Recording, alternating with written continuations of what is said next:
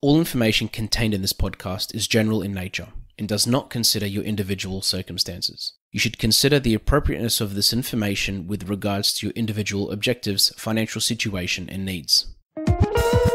Welcome to Sharing More Than the Sheets, a podcast to help you and your partner make better financial and lifestyle decisions so that you can both focus on the things that you love. I'm your host, Michael Khouri, financial planner, green thumb, husband, and just dad.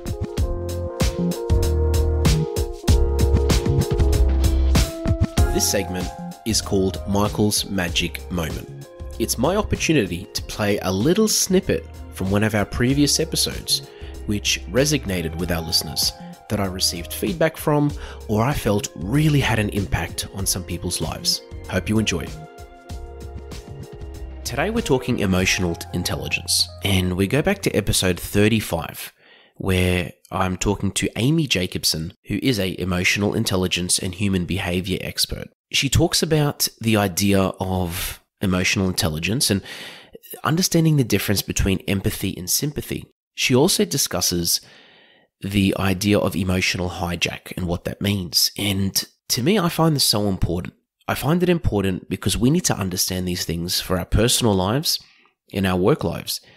As soon as we can start understanding it and I can, we can understand our personal emotions and those around us, it makes it so much easier to deal with certain situations. It makes it easier to maintain relationships and to strengthen relationships with your family members, with your partner, um, and even with those that you work with. Why is this important and how does it relate to financial life and financial advice? You're probably thinking. Well, if you think about it, in a relationship, if you can communicate better and if you can understand the stress that the other person's going through um, in a moment of their life or in a part of their day, you're able to work better as a couple. And if you can work better as a couple, you can manage money better as a couple and you can manage the other parts of your lives better as a couple. And secondly, when it comes to work, if you're able to understand these things, you're able to function better in the workplace, you'll and probably get yourself a much, um, uh, you know, find yourself in a better position that's paying you more. Um, or in business, you're able to work with others and you're able to relate to others better and take advantage of opportunities that pop up. Because if you have stronger relationships in business and through work, you're not going to enjoy it more. Um, you're not only going to enjoy it more, but you're also going to be ready for opportunity and maybe be given opportunity if those around you enjoy working with you. Compared to the opposite of, you know, being you being a person who isn't really enjoyable to be around or someone that is um, very stressful to be around, where others around you probably won't want to work with you. So as soon as you understand others and uh, as soon as we understand these these concepts that Amy discusses in this episode, it makes it so much easier to achieve your goals in real life and it helps you understand things better and work with other people better in your personal and work life. So let's go back to one of my favorite snippets in the episode and I encourage you to listen to the whole episode at a later date and to contact me and let me know what you think as well. The brain, as you said before, the brain is a highly complex, complex uh, organ in our body. And even when we look at how many years or how many decades, centuries we've been studying it for, we still don't completely understand how it works and what happens in there. And, and out of all of the research that I've done, the brain and the mind absolutely fascinate me. But what I found more than anything is that the amount of amazing books that are out there and research that we can read about it is very it's very science related it's very complex and while it blows our mind to read it there was just this gap between how do I now take what I've learned and actually apply it to day to day to my life and and know how to build it and and that's where we've come from Michael in the fact that you know this book is about helping people to relate it to themselves and emotional intelligence is directly related to any human being. And every single thing we do day in, day out is driven by our level of emotional intelligence and our response.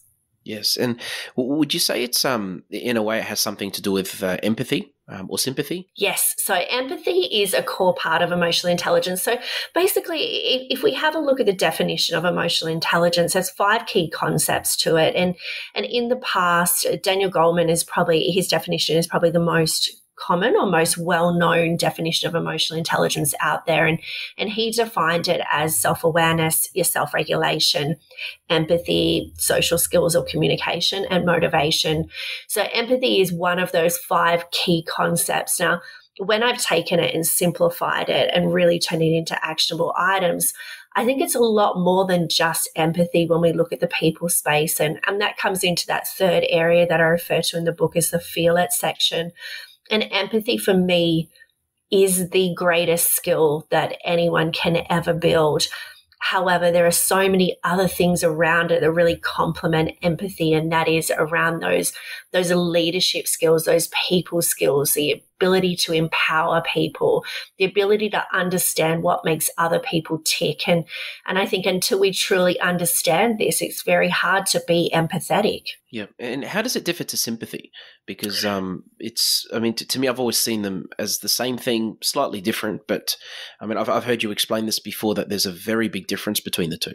There is, there is. So a lot of people interchange empathy and sympathy, do, and, they get confused to think it is the same thing. Now, the difference between the two of them, sympathy, if we start with sympathy, sympathy is genuinely feeling sorry for somebody. So sympathy, you're looking at the situation, you're looking at the person, you're looking at what they're going through, and you have you have feelings you, you feel for what they're dealing with or the or what's going on and even at times we might even have a bit of pity in there um, so sympathy is a beautiful thing and it's really being able to to really put yourself into the situation that that person is going through where empathy is completely different empathy, you don't even need to know what is happening. You don't need to know what the circumstance is. You don't have to agree with what that person is feeling or how that person is responding all you're doing with empathy is actually recognizing the emotion that they are feeling. So, to give you an example, if we had somebody who is really angry in front of us or on the end of the phone, which I'm sure we all have it at different times, especially in the workplace and around family and friends as well if we have somebody really angry, we don't need to know what made them angry. Uh, we don't need to agree with their response. Even if we do know what made them angry, we could be looking at them and thinking, you are totally overreacting, or I would never respond this way. What empathy is about is really understanding okay, this person in front of me is angry. It doesn't matter why, it doesn't matter if I agree, I know that they are angry. When was the last time I was that angry? Or when was the last time I was angry in general? And what is the worst thing that somebody could say to me compared to what is the best thing that somebody can say to me.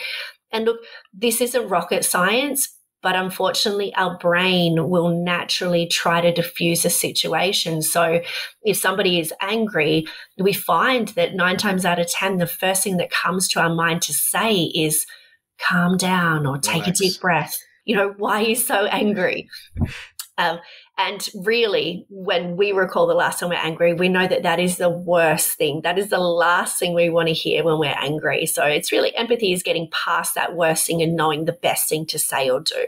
Yes, and I think that I mean I, I mean I'm just thinking of my wife and I. You know, like I mean we've got three children, and you know we'll have things that happen with the kids or things with work, and I mean very rarely do do I know what she's going through. Um, you know, especially that I've come home and haven't seen her all day. And likewise, very rarely does she know what's happening in my mind, uh, work wise, for example. So um, that actually makes a lot of sense because it's. I like that you said that you don't actually have to know what the specifics of the situation. It's just understanding that how that person may feel, or like what you said, remembering the last time that you felt that way. So that, that's um, right. And I think, you know, I've got my husband and I have got a 14 year old daughter and a 12 year old son. And, and it always reminds me with empathy when, you know, I can come home from a day at work and my husband can as well. And, and our 14 year old daughter, who's in those really challenging years, she can come home from school and say, that was the worst day ever. Like I had a terrible, terrible day. And we'll sit down with her and say, okay, what happened?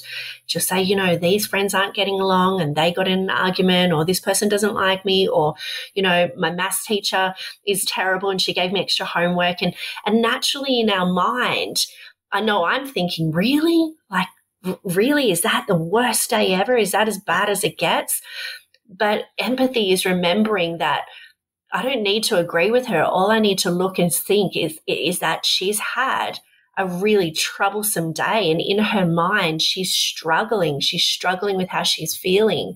And for me to turn around and downplay what she's feeling is not going to help the situation. Me telling her that, you know, your teenage years are the best years of your life and school isn't that hard. Wait until you get to, to work until, you know, the real life part.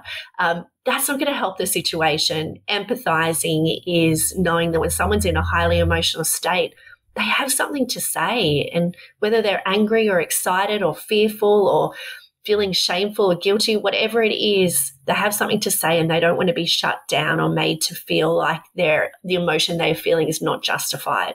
Yes, yes, and, and, and as far as emotions are concerned, you, have um, I've I've heard you mention this term called emotional hijack. Um, yes, and if you could sort of touch on that just a little bit, because I think that's again as a parent, and I guess this even applies in the workplace, but just there's yeah, I found it fascinating to actually understanding what it is and sort of knowing how I react to certain things. Yeah, so emotional hijack is extremely common. Like this, co- emotional hijacks happen every single day within all of us and the people around us. And what is basically happening is that when we get information into our brain, it comes in through our five senses. And when that information comes comes in, it goes into a place in our brain called the thalamus, which pretty much converts it into a language that our brain understands. And then it sends it through to an area called the neocortex. And the neocortex is where we analyze it. And it's, it's that part of the brain that we really refer to as the logical part of our brain. And it is from this logical part of our brain that we then send this data through to our emotional brain, which is our amygdala, and it then decides how we will emotionally respond in a situation. But with an emotional hijack, what happens is we've got this kind of dotted line between our thalamus and our amygdala. So what happens is when that information comes in, before it even gets a chance to get through to our logical brain, before we even get a chance to analyze it, to think it through, we have an emotional reaction. It jumps straight down to our emotional brain and we start to respond emotionally. And this tends to occur when we don't have enough information or we are triggered with something. And these emotional hijacks, as you said, Michael, they happen in work and at home. I'll give you two really easy examples. First off, of the workplace, I want you to picture yourself at work and five minutes before you're about to leave for the day, your leader or your manager or your boss or whoever it is comes up to you and says, Let's have a chat in the morning and walks away. Yep. And at that point, with very little information, not knowing what they want to talk about, the chances of us going home and having a good night's sleep are going to be pretty low. Yep. Because what can happen is our mind goes straight into that emotional hijack thinking, what do they want to speak to me about? Like, have I done something wrong? Like, what was the last thing that I did? Some people might even get to the point where they're thinking, this is it. Like, I'm getting a promotion. Like, this is all going to happen tomorrow morning. Yep. So these emotional hijacks can happen in the workplace, but then if we throw over to outside of the workplace in in real life, you know, the picture for most of us have, have been to the doctor at some stage and had some blood tests done. And and you know you might get a call from the receptionist a couple of days later that says you know the doctor wants to see you and discuss your blood test results. And and we try to get the answers out of the receptionist saying can you tell me what they were? No no sorry you'll have to see the doctor about that. And and in that time between receiving that call and seeing the doctor, we might find ourselves on Google Doctor trying to work out what's wrong with this or what's the worst case scenario or, or over analyzing it, only to realize that when we actually get in to see the doctor, it might be something quite minor that they just want to monitor. So these emotional hijacks happen in relationships, in workplaces, everywhere around and it is a natural process that happens in our mind when we don't have enough information or we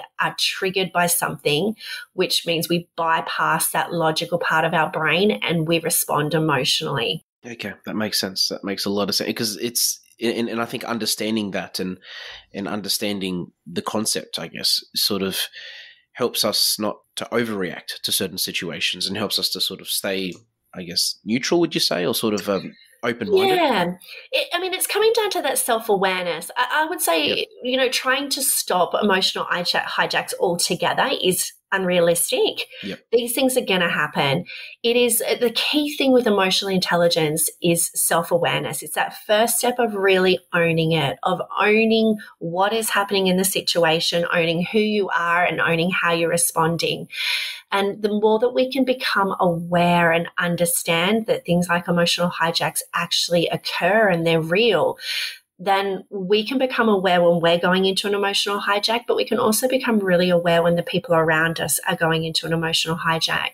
And like you said before, Michael, you know, even just coming home from work into the household, or your partner's been at work, or they've had, you know, a day very separate to ours, knowing and being aware of those times when we do jump in because the pressures of home life and children and cooking dinner and organizing everything at night start to really play in we see these emotional hijacks happen and and it's a matter of stopping and really acknowledging the fact okay i'm in an emotional hijack or my partner's in an emotional hijack. How do we get more information into this or how do we take a deep breath and actually acknowledge the trigger that is occurring so that we can get that information into our logical mind and start thinking about it logically rather than emotionally Thanks for joining us on Sharing More Than the Sheets. Please make sure you subscribe to be updated with future episode releases, and feel free to share this episode with any friends or family that you think it might benefit. Please visit us at sharingmorethanthesheets.com.au to submit questions or requests for future podcast topics. These podcasts have been brought to you by Better Financial Planning Australia. To book a 15 minute phone chat, visit betterfinancialplanning.com.au.